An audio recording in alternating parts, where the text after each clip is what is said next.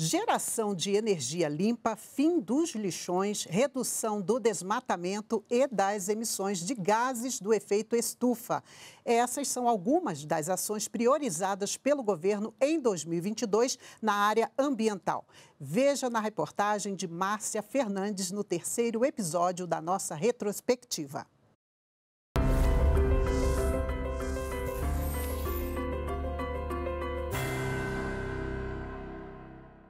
Em 2022, o Brasil marcou presença na 27ª edição da Conferência Climática das Nações Unidas, a COP27, no Egito. O governo federal apresentou projetos importantes que estão sendo desenvolvidos para gerar, por exemplo, mais energia limpa e reduzir a emissão de gases que geram aquecimento global. Mais uma vez, somos parte da solução, do alimento à energia limpa. Também na COP27, Brasil, Indonésia e República Democrática do Congo, que têm as maiores florestas tropicais do mundo, anunciaram a criação de um acordo para valorização da biodiversidade e remuneração de serviços ambientais. Nessa direção, o governo brasileiro também editou em 2022 um decreto que cria um mercado regulado de crédito de carbono, uma espécie de moeda verde que permite converter recursos naturais em dinheiro. O Brasil vai ser líder nessa compensação ambiental e exportar crédito de carbono para países e empresas poluidoras.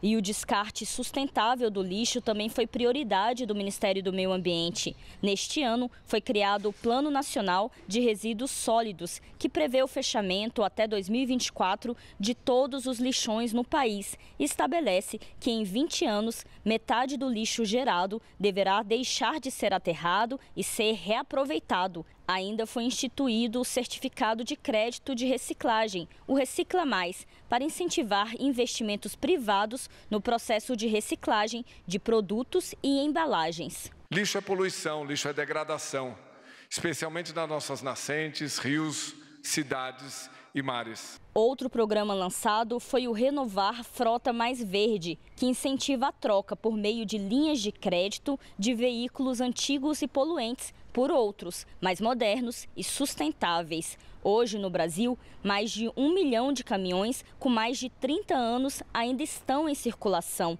e mais da metade dos veículos leves tem mais de 10 anos. E no período de 2021 a 2022 foi registrada uma queda de 11% no desmatamento na Amazônia em relação a 2020. Segundo o governo federal, a queda é resultado da operação Guardiões do Bioma, que envolve ministérios, Polícia Federal, FUNAI e órgãos de fiscalização, como IBAMA e ICMBio. A ação já instalou seis bases fixas na Amazônia, com foco no combate ao crime organizado, tráfico de animais e contrabando de produtos florestais.